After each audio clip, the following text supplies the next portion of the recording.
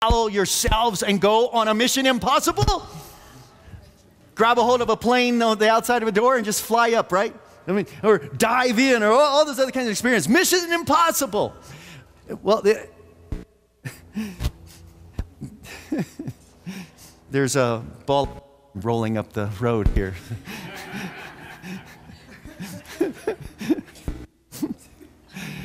Mission impossible. That's what God is giving to his disciples. As we try to understand how to be a disciple, by the way, the children were awesome. leave when the end of that prayer.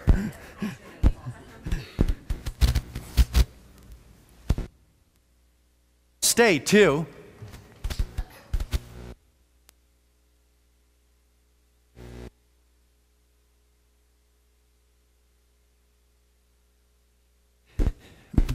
Mission Impossible is the task that God gave to the disciples when He said, Go into all the world and make disciples of all peoples. Baptizing them in the name of the Father, Son, and the Holy Spirit, teaching them to obey everything that Jesus had commanded to the end of the age, He would be with them. And He says that He starts it all with, All authority in heaven and on earth has been given to me, therefore go. In other words, I've got the authority to send you out to do Mission Impossible. And our job is to take that mission. And the question is will you accept this mission? To go into all the world, to do things like Jesus told the disciples cast out demons, heal the sick, proclaim that Jesus is here, people to repent and preach that. Will you do that? Or is it too hard for you? Is it a journey you're unwilling to take? Because if you choose not to take it, you miss out. Christ is still going to reach his world. And he really would like to work through you, just as you are, not because of how much you know, but because you trust him. I have to challenge you that there's another thing, and it's the longest journey in the world. The longest journey in the world is not around the globe. The longest journey in the world is the 18 inches from your head to your heart. And that's a tough one that we face every Sunday when you come here. Because most of you have had listened to more sermons than I've preached in front of this church. Most of you have studied about Jesus, heard about Jesus. Well, some of you since you were like Jordan in the cradle. And some of you are a little older than Jordan. So you know a lot. And because you know a lot, every story that I open up to you, like as especially right now as we're going through the Gospel of Mark, every one of these stories, oh yeah, I've heard that. Oh yeah. Exactly what's going to happen next. Kind of takes the excitement away, doesn't it? You see, well, we need to pray today. And I'm going to ask you to pray it right now. What we need to pray is that God would break our hearts. That God would soften the calluses on our hearts that keep us from hearing Him. And if you're willing, you pray that right now. And if you're not willing, I'll pray.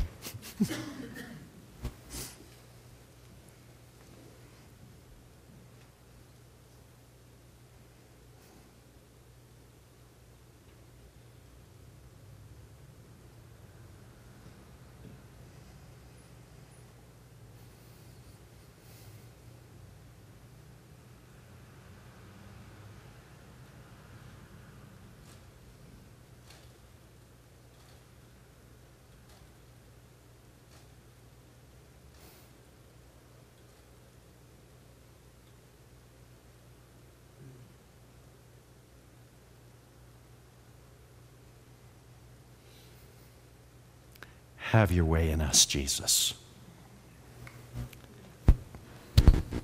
Don't let the song we sang break our hearts for what breaks yours. Just be a song that goes from head to tongue and never stops in our heart. God, we've got calluses and they need to be removed. We have hard spots that need to be softened. Do it in us, Jesus. In Christ's name, amen. well, here's the good news. This is a very, very, very important message. It's a message that has to break into our hearts. But here's the good news none of you need to hear it. Yeah, yeah. All, all the people that are hard hearted didn't come today, right? The people with the calluses, they're not here hearted people, the soft hearted people, the people who are wanting to listen and hear what Jesus has to say to them, you know, um, you, are the ones that are here. You're, you're all the good people, right?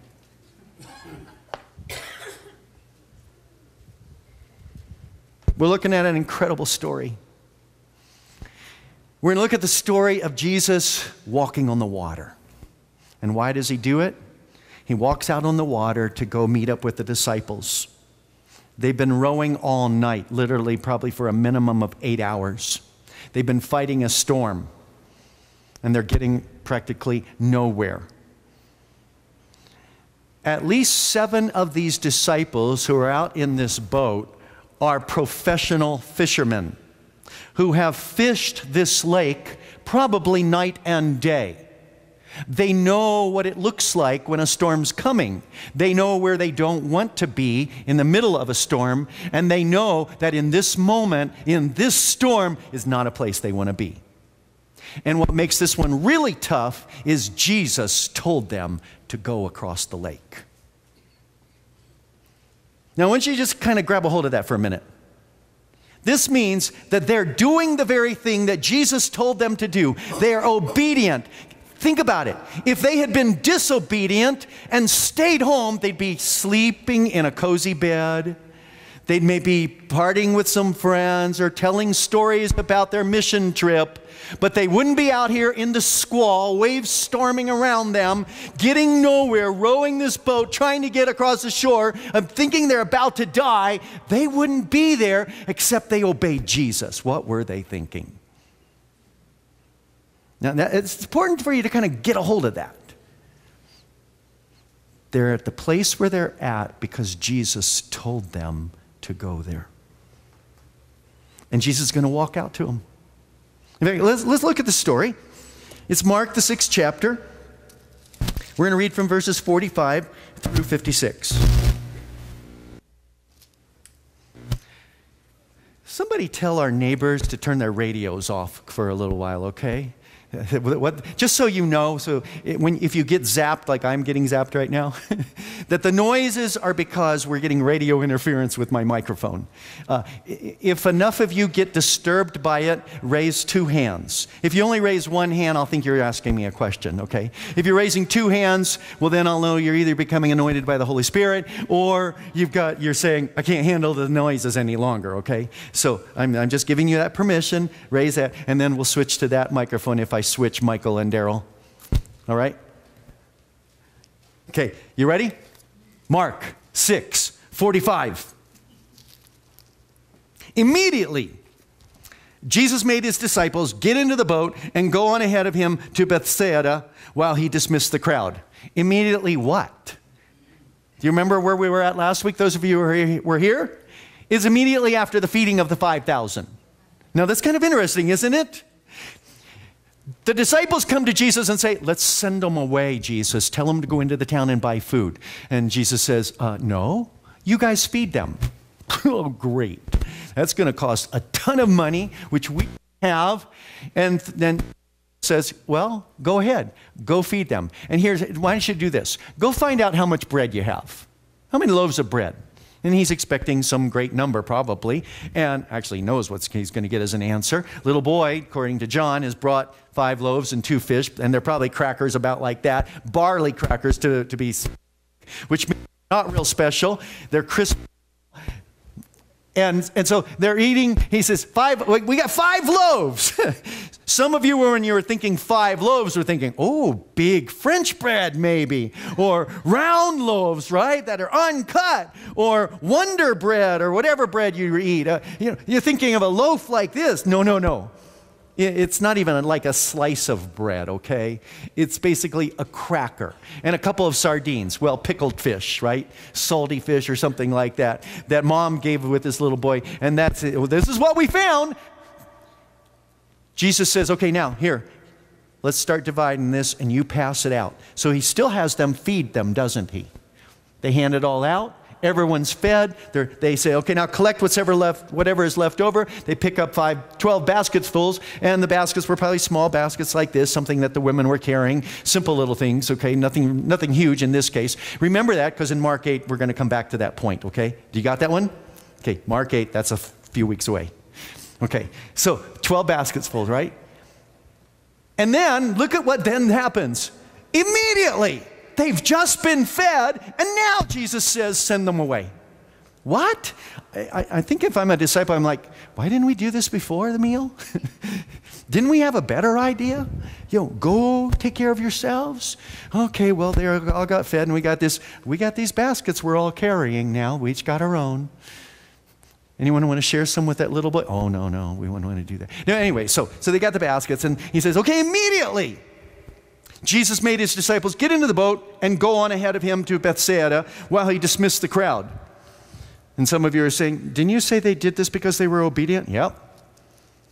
They didn't have much choice, did they? Well, they could have said no, but they kind of know there's some value in doing what Jesus says, so they do it. After leaving them, what does Jesus do? He goes up onto a mountainside to pray. When evening came, the boat was in the middle of the lake, and he was alone on land. He saw the disciples straining at the oars because the wind was against them. About the fourth watch of the night, he went out to them walking on the lake. He was about to pass by by them when they saw him walking on the lake. But when they saw him walking on the lake, they thought he was a ghost. They cried out because they all saw him and were terrified. Immediately he spoke to them and, and said, Take courage, it is I, don't be afraid. Then he climbed into the boat with them, and the wind died down. They were completely amazed, for they had not understood about the loaves. Their hearts were hardened. When they had crossed over, they landed at Gennesaret and anchored there.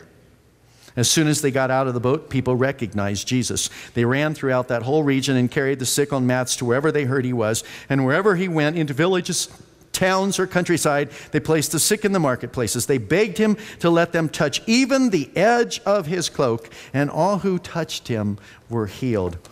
That's cool. Remember some of the miracles that the disciples have witnessed? And I just kind of did this off the top of my head. You remember the healing of Peter's uh, mother in law? They're staying in her house, and, and she's healed and, and is able to get up and fix them a meal.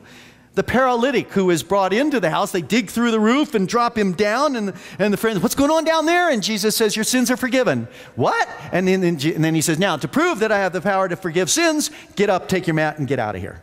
And the man gets up and leaves. And there's a controversy over whether Jesus can forgive sins, not excitement over the fact that he just healed a man. There is the man with the withered hand. And this is meant to be a trap against Jesus, right? he's in the, the synagogue there of Capernaum, and, and Jesus talks to him and says, You know, stretch out your hand. And he stretches out his hand and he's healed. Uh, the only bad thing is it's on the Sabbath. And they get upset and they start plotting for, his, for Jesus' death. There's the man not long after that that has thousands of demons controlling him. Thousands of demons, according to the scripture. He's cutting his skin. He's breaking chains that they try to use to control him. He's running around naked. He's living in a cemetery. And, and that would have meant he would have been staying in a place where there's a lot of caves and people are afraid of him because they don't have the power to subdue him because of the thousands of demons. And Jesus casts them out. The man comes to senses. He's totally remade. And the people say, Get out of here, Jesus, because we can't handle this kind of power. And they're afraid of him. There is the walking, excuse me, not the walking, there's the riding in the boat. When Jesus is sleeping and there's this big storm, remember that one? Big storm comes and they Jesus, we're going to die. Aren't you concerned about us? And they're waking him up. He said, Just a minute, I can't understand you because there's this storm out here. Wind, be quiet. Waves, stop. What's wrong with you guys? And they're like, Oh God, who are you? That you listen to the wind, that the wind and the waves listen to you. Oh God, who are you? yeah, they got it. There's the woman who's been bleeding for 12 years, who Jesus calls out, Who touched me? Oh my goodness, Jesus, what are you thinking now? You're in the middle of a crowd, hundreds of people have been touching you. No, no, no, no, no, no, you don't get it, guys. Somebody touched me with faith and they were just healed. Who was it?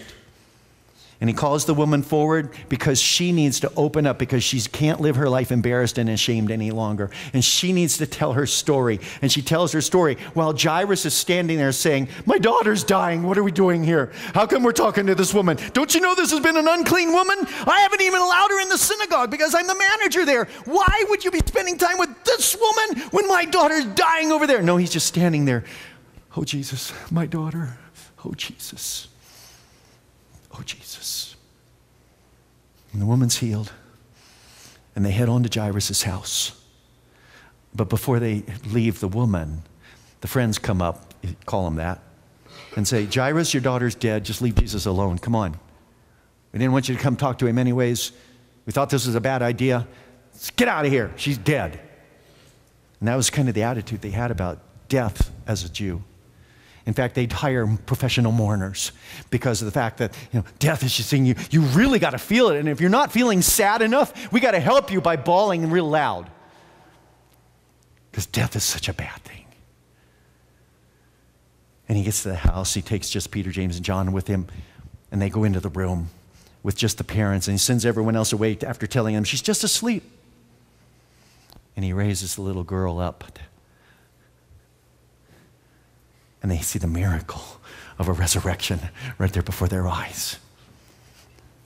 These are some of the things. And now, just before they got on the boat, what else did they experience? 5,000 men got fed. And the girls and the, uh, excuse me, the, the girls and the boys and the women ought to be saying, What about us, huh? So you had all those dudes out there and no one else got fed? It figures that's the way men are. They, they eat first, and the rest of us get what's left over, right? Slaves work the kitchen, and right, right. Yeah, okay, come on, girls. no, no, you were there. You were there too.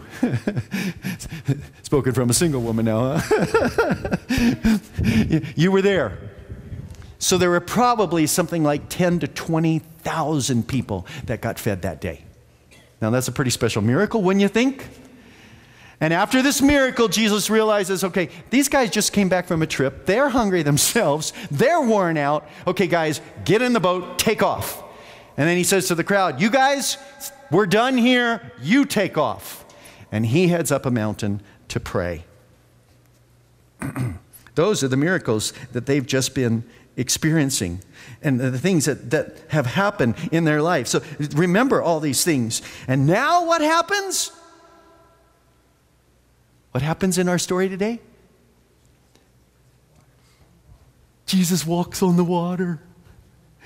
Yeah, Jesus walks on the water. And they see him walking on the water in the middle of a storm that they're paddling and not getting anywhere. And Jesus walks out right out to them and gets in the boat with them. And the storm stops. And then they get to the side and it's like, whoa, this is amazing. The disciples are where they are because they obeyed. This is important. Have you ever obeyed Jesus and things didn't go well?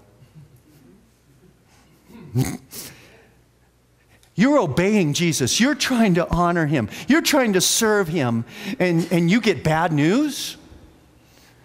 You go through some painful moment or painful season. You're hurting in your heart, and you're saying, I was obeying you, man. And he says, Yes, you're right where I want you. The disciples are obeying. And what's Jesus doing? Up on a mountain praying. Can you believe it? They're out there. In fact, and get this one. Mark says he's watching them. He can see them fighting the storm. Got good eyes, I can tell you that, okay? But he's up there on the mountain praying, and out there because there's no other boat out there. Incidentally, the Sea of Galilee is big, but actually you can kind of see across it. And where he's at, he's at this high elevated position praying, and he's looking down there and he can see the boat, and that boat's sitting right where it was for the last hour. He's praying some more, and he's looking down there. Oh, yeah, they're still there. Okay. Praying some more. Couple, another hour goes by. They're still there. Do you notice what Mark says the time is that Jesus finally heads out onto the lake? Did you, did you see it? In the fourth watch of the night. Does anybody know when the fourth watch of the night is? Just shake your head, yes or no. Okay, the fourth watch of the night starts at 3 a.m. 3 a.m. And it goes to 6 a.m. And those of you who were up in the fourth watch of the night this morning had a privilege of praying and talking with God that some other people miss out on. And some would say that it's a very sacred and special time to pray in the fourth watch of the night. And that Jesus oftentimes got up during the fourth watch of the night. Only to this time, he's been up all night praying. And the disciples have been up all night doing what? Oh, they've just been lollygagging around out on a little boat. Yeah, they've just been out messing around, having some fun, piece of cake out there, right? No, these guys have been doing this. You just do that for the next five minutes and see how tired you are, okay? And you, you do that with the weight of the boat on your arms as well. And, and you do that pulling an oar because you're trying to get this boat over the next wave before it again, and you're thinking you're about to die, and this is going on for hours, and you're there. Why are we out here, guys? Does anybody remember what in the world we're doing? Jesus told us to do this. They're in a tough, hard time, and they're there because they've been obeying Jesus. Oswald Chambers kind of refers to this. He says, What we call the process, God calls the end. God's end is to enable me to see that He can walk on the chaos of my life just now. If we have a further end in view, we do not pay sufficient attention to the immediate present. If we realize that obedience is the end, then each moment as it comes is precious, no matter what the heartache, no matter how difficult the journey. The journey is where Jesus wants us. And Jesus, what's Jesus doing? Okay, this ought to inspire you. Jesus is on a mountain praying for these guys. Where's Jesus right now? Oh, he's sitting on the throne in heaven interceding for the saints night and day. Oh, he's up there dealing with the evil one who's uh, criticizing and accusing the brethren in front of him night and day. He's hearing all the stuff, trying to beat up the saints, and, and he's interceding for us, right? We've got a great high priest who's up there doing what? He's standing in front of God and he's saying, Oh, look, look at what they're going through this week. If you don't mind, Wendy, look at what you're going through on Wednesday. And what's Jesus doing? He's up on the mountain praying for you. Mark, you work nights, right? You're working this week? Oh, look, when you're working those nights and you're driving home and we're praying you stay awake, as so is your wife. What are you doing? What's Jesus doing? Jesus is praying, interceding for you up on the mountain. And I could go around the room and talk about every single one of you and the stuff that's going on in your life right? Come on. Some of you know you've shared things with me, right? Some of you know that you've been open a little bit even about the challenges that you're facing. And here's the thing the better thing of all is, is that the high priest, the King of Kings, the Lord of Lords, is doing what on your behalf right now? He's praying. He's interceding. He's up there on the mountain praying. And when he needs to, what's he going to do? Well, that's what he does for the disciples. Listen, Romans 8 27 says, And he who searches our hearts knows the mind of the Spirit because the Spirit does what? Intercedes for God's people in accordance with the will of God. Or Hebrews 7:25 says it so well. Therefore, he is able to save completely those who come to God through him because he always lives, this is Jesus, always lives to intercede for them. That's Hebrews 7:27. The disciples are being taught probably one of the most important lessons of their life. That because they're going to face some bad times. They're going to be tortured, persecuted, killed for their faith. It's not just as tough as what we're facing. They're facing the worst of times. And as they face that, they, Jesus is trying to teach the lesson to disciples. When, uh, whatever you're going through, I'm there with you. I'm going to be interceding on your behalf. I'm going to be praying for you. They need to get this where? Not into their heads. They need to get this into their hearts. Their hearts have to understand that they're not alone as they're going out into that battlefield. Their hearts have to feel and sense the presence of Jesus Christ with them. Jesus is praying and interceding. And what is the promise that, that came out of the good news of Matthew when Jesus came and Mary and Joseph learned of the name of their son? His name shall be what? Emmanuel, which means what? God with us. And Jesus comes to them in the fourth watch of the night, between 3 a.m. and 6 a.m., just before the sun's rising, as they're really eight hours now of rowing this boat. They're wearing down, and Jesus comes to them and he walks on the water, and they're terrified. They're terrified because they realize or they think it's a ghost. Well, come on. How many of you have watched somebody walk on water?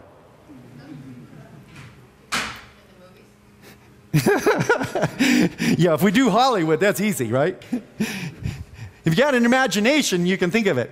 But come on. How many of us would say, oh, yeah, Jesus walking on the water? Yeah, I've seen it, do it before. No, it happens all the time, anyways. You know, he just likes to play around on the water. No, no. It would be totally extraordinary, unusual to us as well. And maybe we would even think, what in the weird thing is going on over there? There's a dude walking on the water. No, okay, don't look because we're crazy. And he says, um, and they're terrified. Because this is just like, this is something that doesn't happen, right? And they're terrified by it. And he says, Don't be afraid. Be of good cheer. It's me. And he gets into the boat with them. Did you notice what's missing in Mark? Something's missing. Because you, you, all know this story, don't you? Who's. What, oh, I thought you said something. Someone's missing. Someone. Peter, what? Peter doesn't Peter get out of the boat too? Doesn't he stand and walk on the water also? Oh, but doesn't he sink down? Yeah. And, and then we, now we get to tell all those stories about his lack of faith and all because he, because he took his eyes off Jesus and started looking at the storm. None of us would do anything like that because he got focused on all the problems and all the stress and all the other stuff instead of standing there bravely on that water like he was already doing. That's missing from this story. Okay, now some of you ought to be saying, Pastor Bill, sure you told, I'm sure that you said that Mark got his information from Peter. Did, did you miss it, Pastor? No, Mark got his information from Peter. And Peter doesn't want the focus on him because it'll come soon enough, won't it? In fact, they will follow Peter not long after Jesus ascends into heaven, and they'll try to make Peter and one of the other disciples gods. And they'll try to worship them. And, and there's all kinds of things that are going to happen with Peter because they think he's doing this, healing people, like making them walk, the lame man, just like Jesus had done. And therefore, we're, we're going to worship him. And Peter's Peter wants to focus on Jesus Christ. And because they know that this is from Peter, he doesn't want to be glorified in any way. He wants just wants people to realize Jesus came and Jesus was with us. Because there would be a few people who would miss out saying, "Oh, that weakling, he gave up while he was standing on the water." And there would be those who would say, "Whoa, isn't Peter amazing? Wow." Isn't he special? Want to be just like him. And the sad thing is, is that there are some people who've heard this story who said, I wouldn't have taken my eyes off of Jesus like Peter did. Something's missing. And it's Peter walking on the water. And there's another thing that Matthew describes. Not only does he describe Peter walking on the water, but the other thing he describes is what the disciples when Jesus gets into the boat. Because what Matthew says is then those who were in the boat worshiped him, saying, Truly you are the Son of God. Matthew Henry says they were sore amazed in themselves. They were in a perfect ecstasy, as if they were in a new and unaccountable thing, as if Christ had never done the like before, and they had no reason to expect he should do it now. They ought to admire the power of Christ and be confirmed hereby in their belief of his being the Son of God. But let's look at what Mark says next. I think it's the key verse in this passage. It's more important, maybe, even than the walking on the water. It's verse 52. For they had not understood about the loaves, their hearts were hardened. They had not the loaves, their hearts were hardened. Do you remember how I began the message today with a list of some of the miracles that they had experienced, including the feeding of the 5,000? They had not understood the loaves. They had not understood the incredible thing that had happened before them. Why? Because their hearts were hardened. And the challenge is that some of us are right there too. Expositor's Greek Testament says the evangelist seems anxious to show how much the 12 needed the instruction to which in the sequel Jesus gives himself more and more. Jamieson Fausset Brown, if they had but considered the miracles of the loaves that, that were wrought upon but a few hours before, they would have wondered at nothing. We don't need to worry out here because Jesus is praying up on the mountain right now for us and we're fine. So roll on, buddies, roll on because Jesus is coming but they didn't get it because they were hard hearted. Adam Clarke says it would have been a strange thing indeed if the disciples, after all the miracles they had seen Jesus work, after they had were having left all to follow him, were only now persuaded that he was the promised Messiah, that they had not as yet clear conceptions concerning his kingdom. Well, it's true, they don't. Because you remember one of the reasons why Jesus sent the crowd away? Is because they wanted him to be the ruler the political ruler. And guess what? The 12 on that boat wanted the same. They didn't get it yet. It's still coming to them. I know he calmed a storm, but that was just really cool. But they don't get it. Why? Folks, we need Jesus. Because the fact is, we too are afraid as we face trials of life. The fact is, we row and row on our own. We're going to do it because we're strong Americans, right? We've got the, the power, right? What's that song, right? We got the power. We, it's a, we, we know how to handle our problems. We're self made people. We can do this. And we don't believe in our hearts that Jesus is going to come.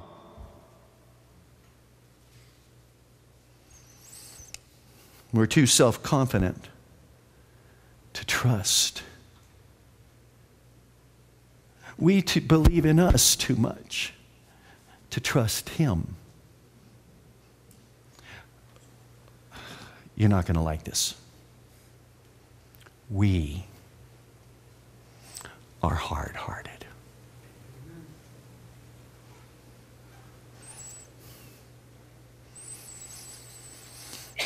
We need Jesus. The Lord is my shepherd. I shall not want.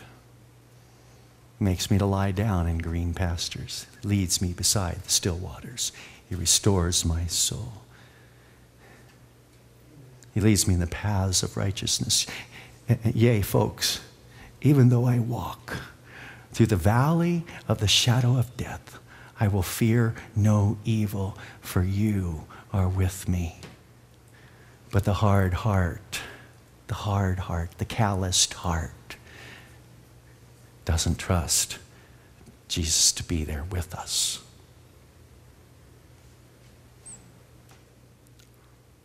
Are we hard hearted? Sin gets in the way and gives us a hard heart. Pride will cause a hard heart.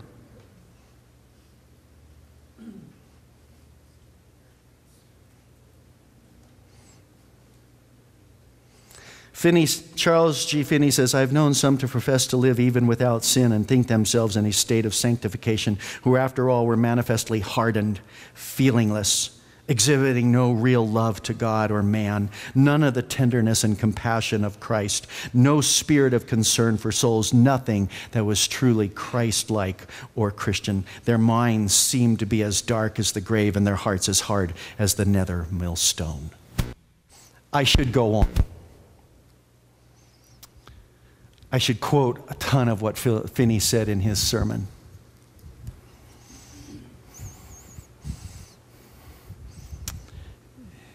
And I'm going to shift a little bit, Paul. So I want you to come.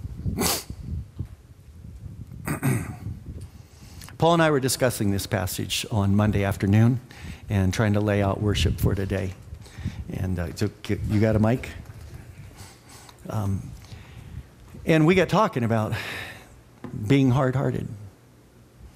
Uh, Paul was talking about several personal illustrations of things that were kind of amazing experiences, almost as amazing as Jesus, Jesus walking on the water.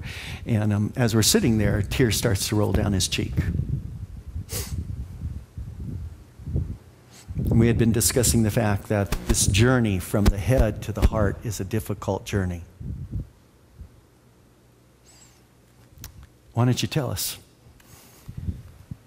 So, for the last uh, 10 years, I've had a lot of personal struggles. I've had a separation in my marriage and just all sorts of stuff. And um, things that, honestly, I just couldn't seem to break through.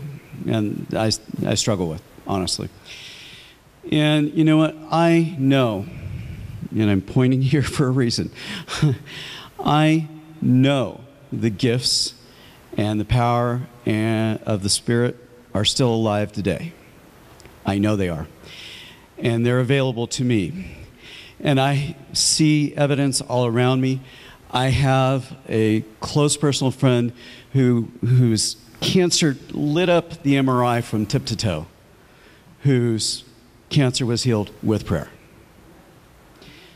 I know a woman right here on the mountain who was picked up off the street after a car accident and left for dead in a morgue for three days.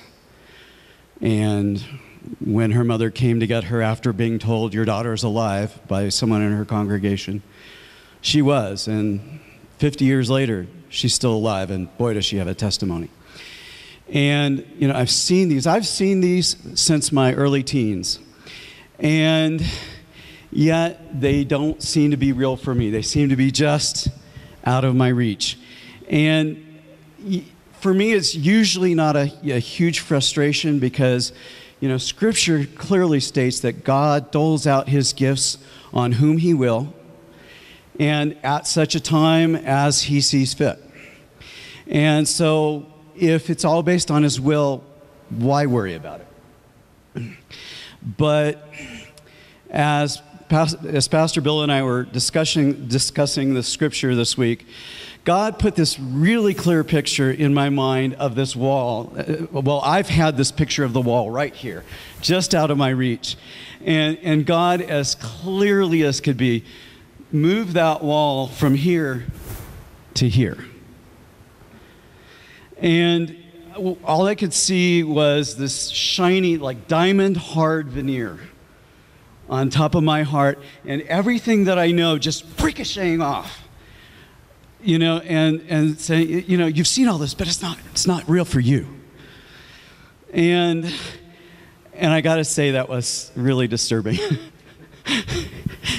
um, and I, real, I have a hard heart. And I never realized it before, ever. And, you know, I realized that I, I've been perplexed by what verses 51 and 52 said that they were amazed at Jesus walking on the water. uh, because they didn't understand the significance of the loaves. And the significance of the loaves is that God takes what we have and He multiplies it in ridiculous proportions for His glory. Okay? And a hard heart is not necessarily defiance. That's what I thought of it was. I, I always thought of it, the, my picture of a hard heart is Pharaoh uh, refusing to let go of his possessions. Defiance. And, but it's, what it is, it's, it's more, it's not that, it's, it's refusal to accept the power and working of an almighty and loving God in our lives eh, that is so overwhelming that people all around us can see it, and we, even we can see it, but we just ignore it. And so I, I know that there's people out there, some of you are just like what I was. I honestly, if you told me I had a hard heart, if I hadn't had that realization the other day, I never would have believed you. And like I said, I thought it was defiance, and, and it was just a refusal to see. And as we continue our, our worship later on, I, my prayer for you is that you will allow God to break through the cynicism and the hurt and the shame and the fear and, yes, even the pride and the strength and the intelligence that all tell us that God can't work in us and through us and, um, and in his mighty and powerful ways. And, but you know what? That's what he promises. He promises that over and over and over again in the scripture. My prayer for you is that you will join me in accepting that fact. He's come in the heart. So let him over.